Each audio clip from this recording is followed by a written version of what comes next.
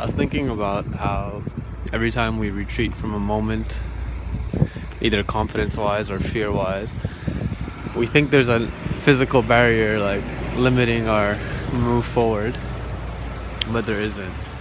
And I just wanted to express that, that it all comes down to uh, moving forward and that we could actually physically be free with our minds because uh, there's literally no limit. But not to say that when you uh, retreat, like if you're going and then you retreat, there's obviously, you obviously did physically truly retreat. So the result of a mental barrier or a thought limitation or a fear or a retreat is the same as if there would be a real barrier. But I'm just saying that there isn't.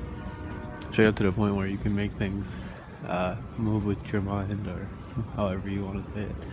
If you'd actually continue going, you would get that promotion, that girl, that event. You didn't retreat. I'm not saying I know how to do it.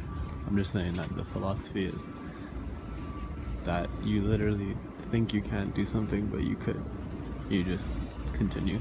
That the barrier doesn't exist, but if you are afraid and pull back, it's as if it does exist. But the truth is, you stick with it, you're already free because we're in a free universe that's freely flowing.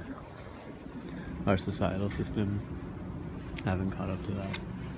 But I think I'm gonna keep expressing it until we could realize it because I think it's already true. Other scientists have already realized that energy wise, but we have to do it consciously, like as alive beings. That's my video for today.